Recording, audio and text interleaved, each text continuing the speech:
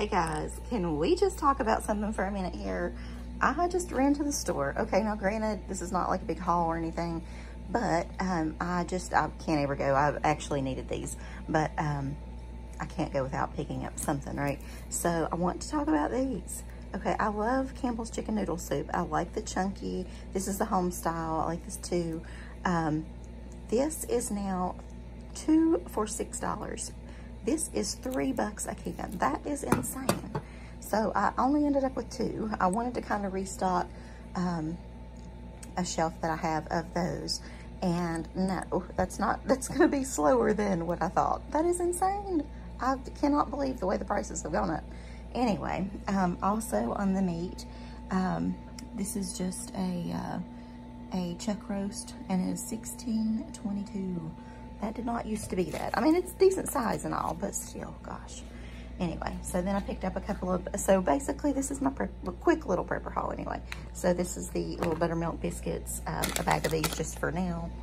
Uh, some K-Cups. Have you guys ever tried this? I've never seen this. Lipton cup in a soup, or cup of soup, uh, cream of chicken. I don't know. I'd like to try that. And I always pick up a bag of flour. Chips were on sale, two for four or two for five, I can't remember. Two for four, I think.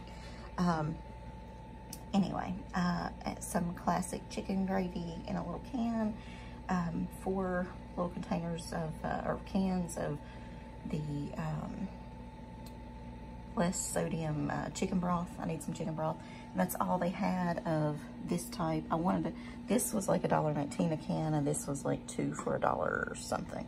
Um, so I tried to get all those. They have, they only had, I think, four. So then I picked up a couple of the fried apples.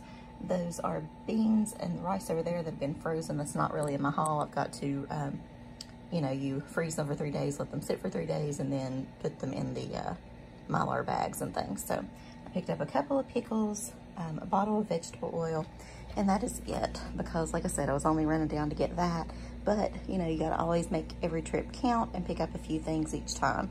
And your stockpile does grow um, pretty quick not too quick and gonna grow on those, so I tell you. All right, so I just cannot believe all these prices today, guys. It's insane. But anyway, I will stop complaining and I have to go cook, so I will talk to you guys later. Bye, y'all.